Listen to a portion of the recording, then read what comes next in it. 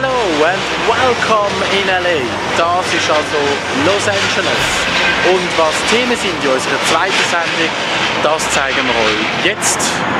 Wie funktioniert öffentlicher Verkehr? Wie LA nach dem Einsturz mit Konzept und Pünktlichkeit überzeugt? Wie funktioniert eigentlich Hollywood? Oder besser, was hat es eigentlich mit dem Hollywood-Sein auf sich? Und wie funktioniert eigentlich Twitter? Und wie kannst auch du dabei sein mit dem Hashtag LA aktuell? LA aktuell Folge 2. Gerade jetzt auf Krabi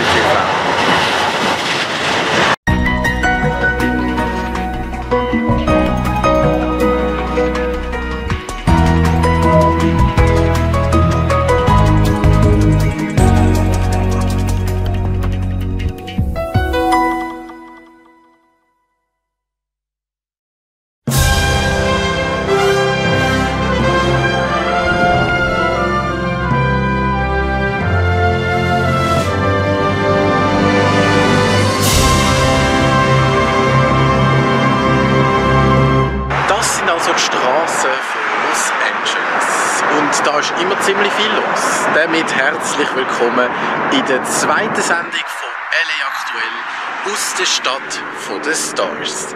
Auch in unserer Sendung ist viel los. Wir haben uns gefragt, wie funktioniert eigentlich wie funktioniert öffentlicher Verkehr? Wie LA nach dem Einsturz mit Konzept und Pünktlichkeit überzeugt? Wie funktioniert eigentlich Hollywood?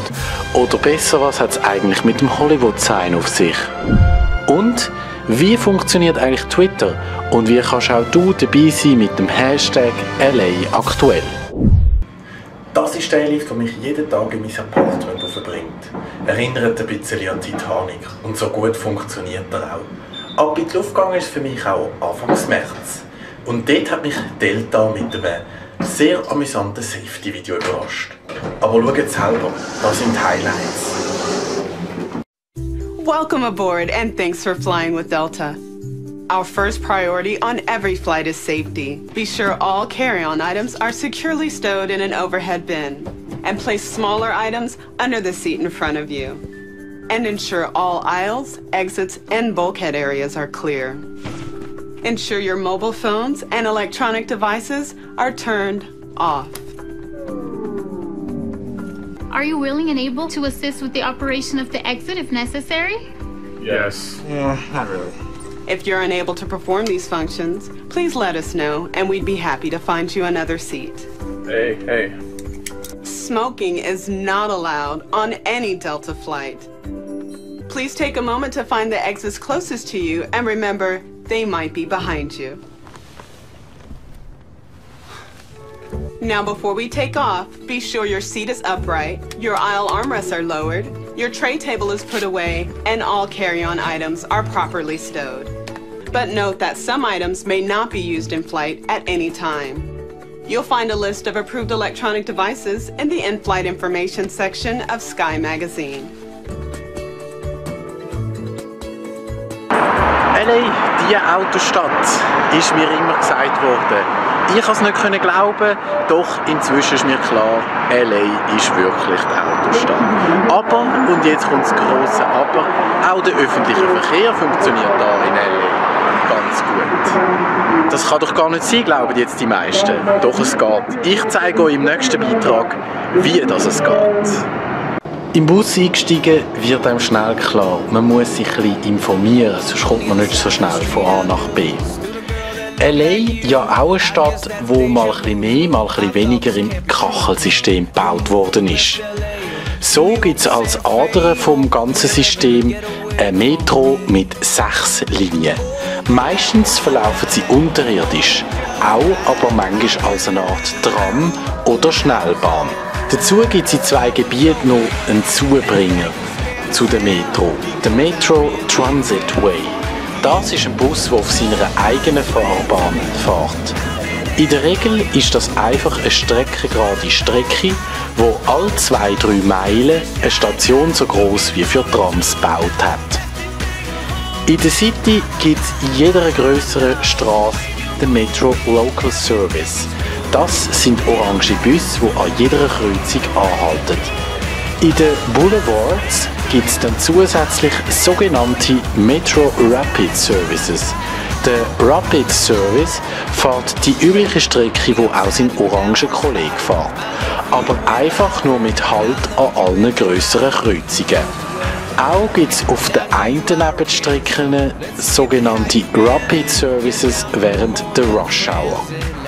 Rush Hour, ein gutes Stichwort. Kommen wir zu den Fahrplänen der Metro Services. Unglaublich pünktlich sind die Busse in L.A. Meistens kommen sie oft Minuten.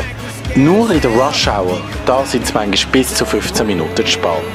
Oder der eine oder andere Busfahrtstrecke zum Zeit aufholen einfach nicht fertig. Auch die Häufigkeit ist verblüffend. Die meisten Linien verkehren viertelstündlich oder mehr. Fahrplan hingegen, das ist ein kleines Geheimnis. An den Stationen ist schon mal gar nichts angeschlagen. Nur wer Google Maps hat oder das Metro-App ist der Metro mächtig. Auch die Fahrzeiten sind relativ unterschiedlich. Am Tag 20 Minuten schafft man in der Nacht schon mal in 8. Noch zur Nacht. Es fahren nicht alle Busse die ganze Nacht durch. Doch die größeren Straßen sind auch in der Nacht gut befahren. So entstehen halt ein bisschen längere Wege. Die längeren Wege sind in den USA, was bei uns normale Leute zu ihrer Postautohaltestelle haben.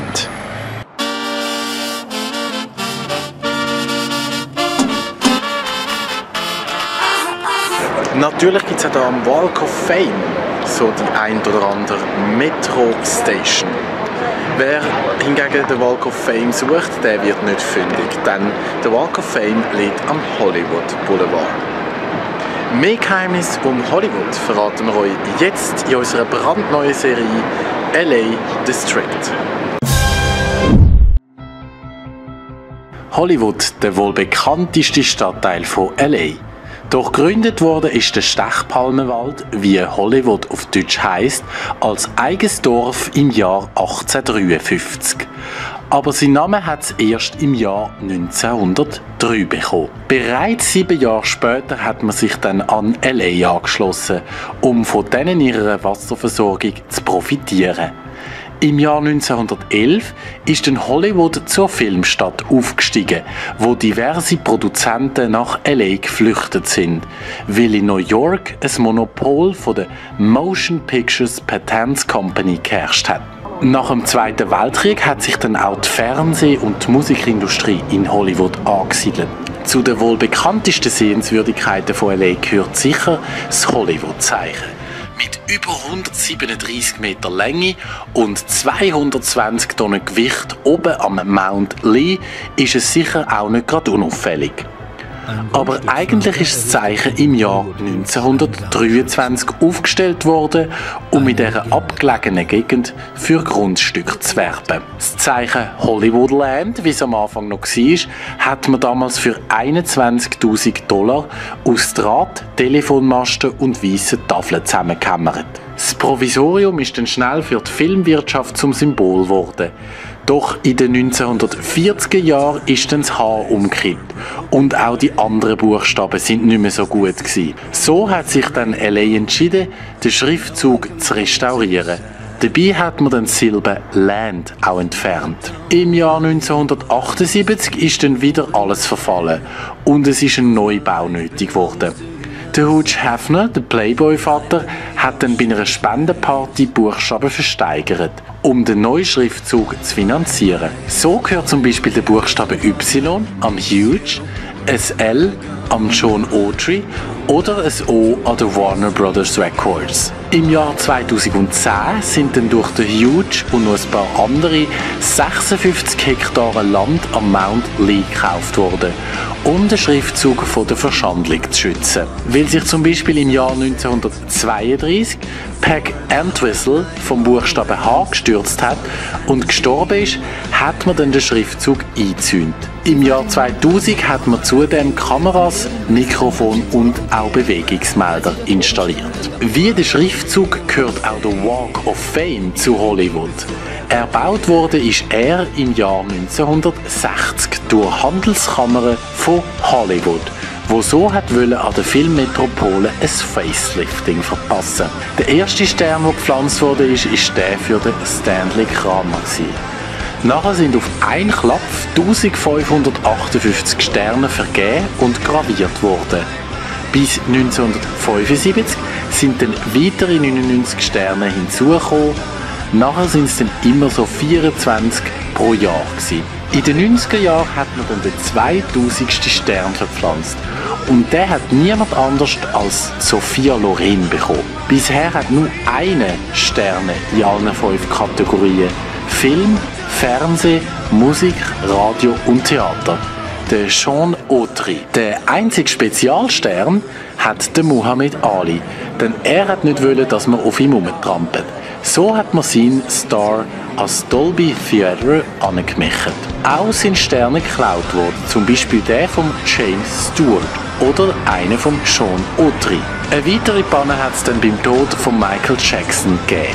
So haben sich die Fans um den gleichnamigen Radiomoderator Stern versammelt, weil am Musiker sein Stern unter dem roten Teppich versteckt war. Ein Stern auf dem Hollywood Walk of Fame gibt es nicht einfach so, sondern man muss sich für einen Stern bewerben.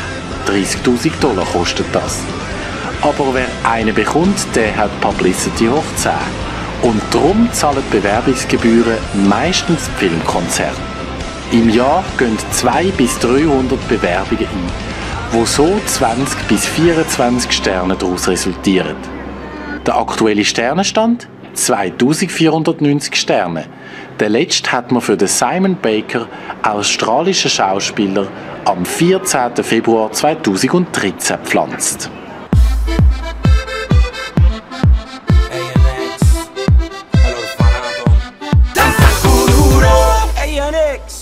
Nächstes Mal in LA District schauen wir dann auf den Stadtteil hinter mir, Downtown. Und wir zeigen euch, wie vor 250 Jahren die Stadt Los Angeles entstanden ist. Wie ihr bekanntlich wisst, kann man bei unserer Sendung mit twittern. Das haben noch nicht so viele in Anspruch genommen. Ist es da dran, ist die Schweiz noch nicht bereit für Twitter? Oder wisst ihr nicht, wie es geht? Wir schaffen Abhilfe, denn jetzt zeigen wir euch, wie funktioniert eigentlich Twitter. Der blaue Vogel haben alle schon mal gesehen. Er ist das Zeichen von Twitter. Doch wie funktioniert das eigentlich, das Twitter? Also zuerst mal, es ist so eine Art SMS an die ganze Welt.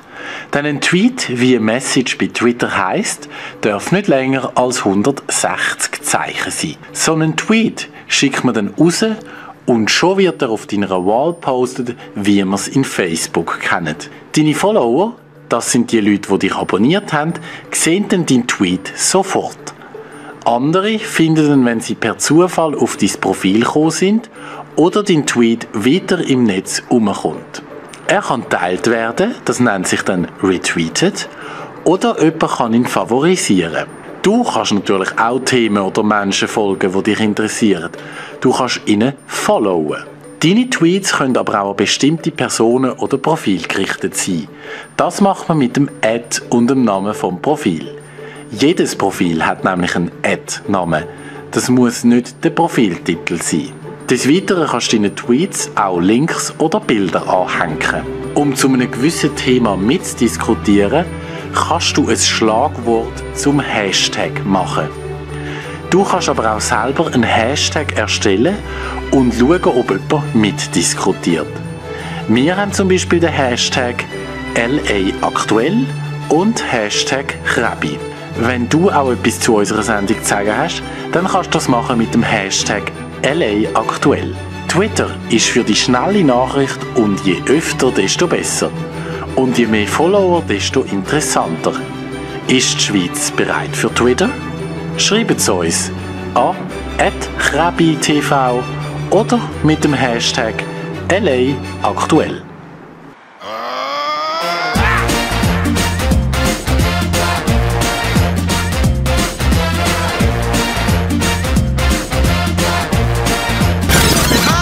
Girlfriend everywhere. Wie bereits im Beitrag angekündigt, könnt ihr jetzt mit twittern mit dem Hashtag LAaktuell und beweisen, dass die Schweiz bereit ist für Twitter. Am Schluss von jeder Sendung gibt es LA aufgefallen. Da zeigen wir euch ein bisschen komische Sachen, die wir hier in Los Angeles gefunden haben. Manchmal auch ein bisschen strange. In unserer ersten Ausgabe LA aufgefallen geht es ein bisschen um die Schweiz. LA aufgefallen, die Woche vom Lucerne Boulevard. Und von dieser Stelle möchte ich mich verabschieden. Uns hat mich gefreut, haben reingeschaut in die zweite Folge LA aktuell. Ich sage Tschüss unterdessen und bis bald.